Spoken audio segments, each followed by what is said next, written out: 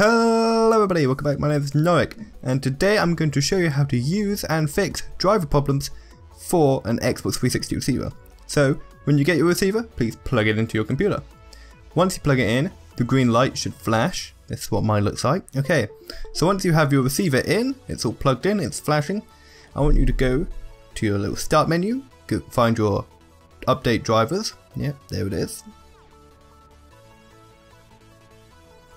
Okay, so when you're when you've opened your drivers that you can view and update and install and whatever, you're going to be brought up with this list.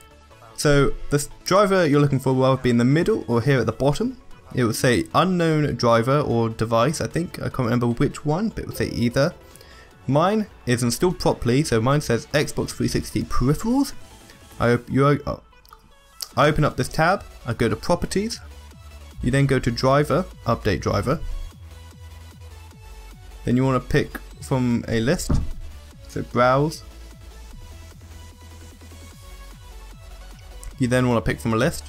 Okay, so then you're going to be brought up with this list for, for the drivers that your device can use. And you'll be find these two at the bottom. One is this outdated driver from 2009 on this list and one is from 2016. Obviously going to need the 2016 one and I'm just checking if there are any other ones that are more up to date than the one there. There is not. Select that driver, press yes. And when the driver's done installing, it's fine. You'll get a little pop-up message that says, do you want to restart your PC? Uh, I select no.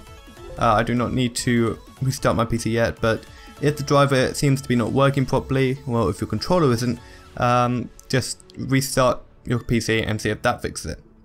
Okay, so now that we've got the drivers installed, what you're going to want to do is press the button on your receiver, turn on your Xbox controller, and hold the sync button, which is there at the top of your controller.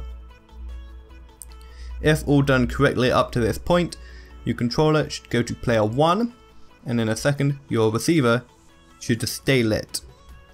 And that's it. You should be fine to play any game you want. Uh, assuming it has gamepad compatibility. But here's me playing Assassin's Creed Chronicles China. So guys, thank you very much for watching. If you enjoyed this tutorial, please like and subscribe. If you have any suggestions for anything you want us to do in the future, please comment down below. And until next time, goodbye!